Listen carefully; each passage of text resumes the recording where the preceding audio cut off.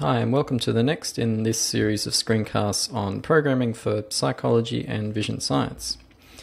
So, in this screencast, we're going to look at a way in which we can represent a collection of data in Python. So, we're going to use a data type called a list. So, in terms of what we're going to cover today, the first thing we're going to do is to look at how we can define a list and how we can use some of its key functions. Second thing is to know how to access the individual elements of a list.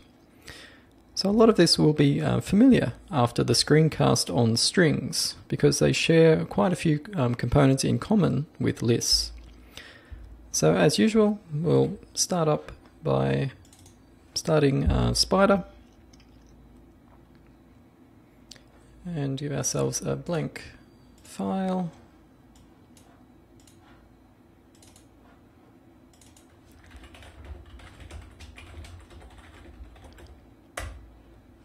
Okay, so what is a list?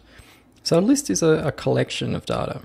For example, we could have um, a list of numbers. So here we could have something like apples equals 2, 4, and 5. So you can see we've, we've created a list by using square brackets, and we're separating the elements of the list by commas. So here we have a list of three elements, each of which is a number. So as should now be familiar to you, we have a, also have a variable called apples that has a set of functions that are associated with it that we can use. So if you recall, we can look at these by typing the variable name, typing a period, and pressing the tab key. Okay, so how about the first one, append? So let's have a look at what the help says. Okay, so we have um, a function that will append object to the end of the list. So what we can do then is add, let's say, another 2. So to be able to see uh, what happened, let's print apples. And just to compare, we'll print apples beforehand as well. So now if we save and run, see the first time through, our apples had 2, 4, and 5. Then after we've run this function append with 2 as our argument, you can see that now apples is 2, 4, 5, 2. So we've appended this number 2 to our list. So in this way we've, we've changed our list to add this extra number. So let's have a look at a another of these functions. Have a look at apples.count. So again, this we have a, a function that is we're going to return the number of occurrences of a particular value that we supply. So let's give it a test. So let's print apples.count, say 4. And if we run this, we can see that it's found one occurrence of the number 4 in our list. So let's try something else. How about apples.count 2. So how many 2's do you think it should find in the list? Let's have a look. 2. So remember we had one initially and then we added another one. How about something like about 100? How many of the one 100 numbers do we have in the list? Zero. So you can see it's able to, to count items that are not present in the list. Okay, so another important thing about lists is that they don't all have to be elements of the same type. So we could have a mixture. So here we have a mixture of strings and numbers. So again, if we have a look at it, we can see that this is this is fine. So we have a, a list that has a string, a number, a string, and a number. So that's fine. So we can also um, even have lists that contain other lists. So this is an important concept that we're going to come back to later on. So we can have... So here you've seen that our first item is itself a list with two items.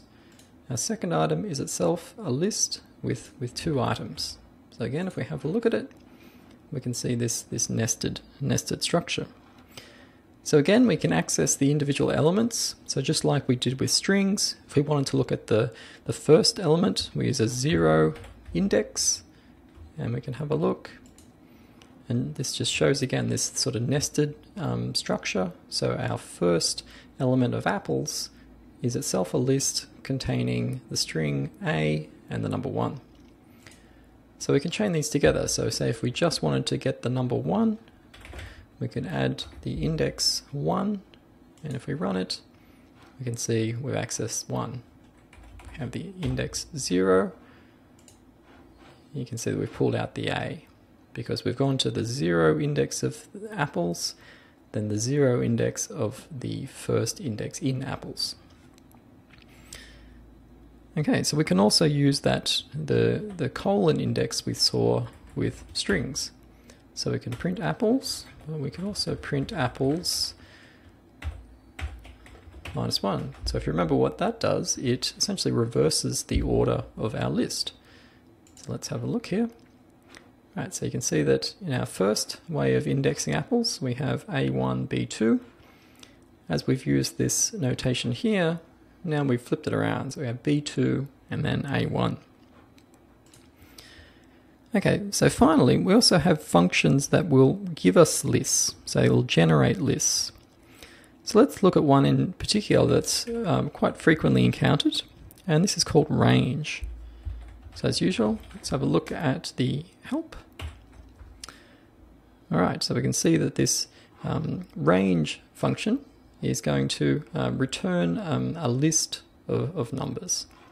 So if we just give it one value, it's going to determine where the list stops. So say we want, if we want to go up to 10, let's have a look what it's done here. So you see this is range function has generated a list from 0 through to 9. So we can also provide start, stop and step values just like we did um, with our uh, list and string um, access. So if we do something like 5, start at 5, go to 10 and step by 2. Now you can see we've got 5, 7 and 9. Alright, so let's look back at the objectives of this uh, screencast. So first, we looked at how we can use uh, square brackets to define a list, or we could use a function like range to generate a list. We also considered some of its key functions, like append, which lets us grow a list, or count, which counts the number of occurrences of a particular value. Finally, we looked at how we can access the individual elements of a list. Okay, I'll see you in the next screencast.